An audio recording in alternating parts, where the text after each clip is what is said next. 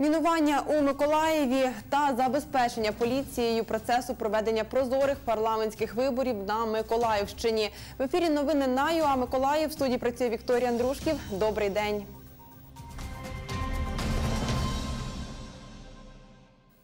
Під час пленарного засідання 52-ї сесії Миколаївської міської ради о 10.56 до сесійної зали зайшли правоохоронці, повідомили про замінування будівлі. Всіх присутніх почали евакуйовувати. Сьогодні замінували ще 9 об'єктів міста, головне управління Нацполіції та на декабристів 5, супермаркет АТБ на проспекті Героїв України, управління СБУ на Спаській, дитячий садочок номер 118 на вулиці Білій, управління капітального будівництва на Великій Морській адміністрації Корабельного, Заводського та Інгульського районів, Миколаївською райдержадміністрацією на Одеському шосе, говорить речниця головного управління Нацполіції у Миколаївській області Інна Парфенова.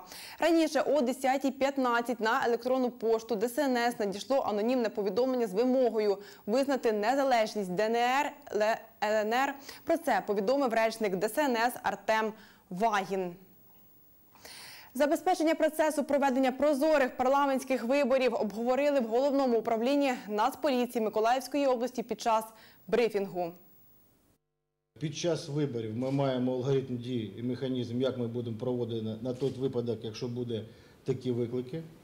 Нами буде залучено під час в день виборів всього 3 тисячі правоохоронців, з яких 2085 це поліцейські, які будуть цілодобово нести службу по охороні громадського порядку на території Миколаївської області та на дільничих виборчих комісіях. На сьогоднішній день ми розуміємо, що до травня місяця у нас було 1100 замінувань. І в червні місяці ми мали рекордні дні, коли тільки впродовж одного дня у нас було е, 337 повідомлень, точніше 37 повідомлень щодо 337 об'єктів.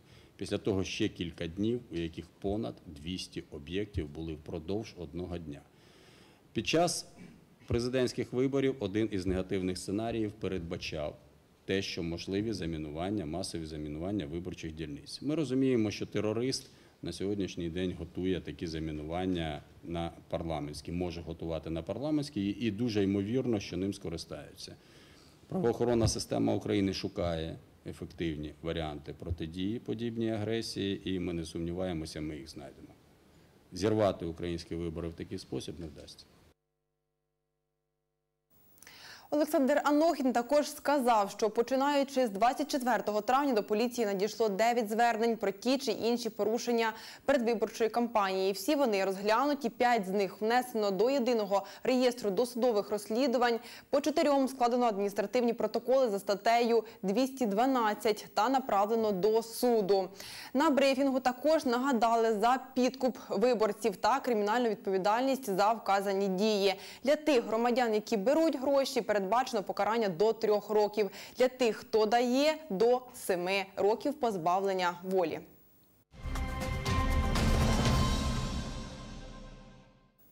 Уродженець Миколаївщини Денис Попов у складі збірної України Ю-20 став чемпіоном світу. Кореспонденти Суспільного побували на малій батьківщині гравця та дізналися, який шлях він пройшов перш ніж виграти міжнародний трофей. Мегійська загальноосвітня школа. Протягом семи років тут навчався Денис Попов. 15 червня 2019 року у польському місті Лодзь колишній учень цього навчального закладу став чемпіоном світу та увійшов до футбольної історії. Зацікавився спортом Денис Попов у семирічному віці. Цьому посприяв батько Юрій Попов, прихильник волейболу. Кожна дитина е, мріє займатися спортом, і хист до цього це не так. Пішов в школу і почали займатися. Волейбол, футбол. Ми до цього як схильні до спорту. Це футбольне поле Мегіївського коледжу. Саме тут Денис Попов проводив весь свій вільний час після уроків. Чотири роки майбутній захисник київського Динамо був головним форвардом як загальноосвітньої, так і спортивної шкіл. Грав тільки в нападі, е, забивав більше, як всі, е, міг сам вирішувати. Ну, більшість ігор вирішував самостійно. У нього однозначно був талант. е, Він ще в третьому, четвертому класі був на е, голову вище, ніж дев'ятикласники. Він на рівних грав е, з дорослими в 5-6 класі він вже е, на рівні грав з дорослими. Тому без е, сумнівів е, потенційно був одним з найсильніших. Е, Він обома однаково е, грав обома ногами, е, однаково точно і сильно бив е, обома ногами, е, що рідкість в футболі. Тому, е, безперечно, е, при тому, що з його наполегливістю і старанністю це ну, однозначно мало закінчитися е, професійним е, підходом в кар'єрі. У сьомому класі Денис Попов поїхав на оглядини до тоді ще республіканського вищого училища фізичної культури. Хлопця зарахували. У столиці ним опікувалися старші сестри, а також головний тренер Дмитро Семчук. Юрій Попов каже, рішення відпустити сина у чуже місто далося нелегко, але вчинити по-іншому батьки не могли. Старша дочка Мар'яна і, і, і Руська, вони його там теж підтримали, водили туди. На нього, ну як, дивились е, на його успіхи, як він готовий чи не готовий бути до цього. Ну, слава Богу, все пройшло нормально, і він поступив у РОВК. Він е, в свій вже вік знав всі команди, які були в Лігі Чемпіонів, всіх поіменно футболістів. Це була його мрія gostar de futebolista. Né? У 2015 році Денис Попов став займатися у академії Київського Динамо. Чотири роки грав за молодіжну команду. 13 квітня 2019-го дебютував за дорослу команду у матчі прем'єр-ліги проти Маріуполя. У складі збірної України Ю-20 у травні поїхав на чемпіонат світу, який приймала Польща. На цих кадрах переможний шлях жовто-блакитних та особисто Дениса Попова. Центральний захисник відзначився трьома забитими голами. У перших двох матчах групи вразив ворота США і Катару, а в одній восьмій відзначився у грі проти Панами. Півфінальна гра стала для Дениса Попова останньою на турнірі. У матчі проти Італії захисник заробив червону картку. У фіналі українці обіграли Південну Корею 3-1. Уродженець Миколаївщини став чемпіоном світу. Я дивилася усі ігри, усі сім. І фінал так само. І враження, звісно, зашкалюють. Навірно, трошки менші, ніж у самих ігроків і на тому стадіоні. Ми і кричали, і вболівали, і все село наше дивилося, і вся родина дивилася, як і вся Україна. Кожен день, кожне утро я йому писала побажання на хорошу ігру, на побіду, на все.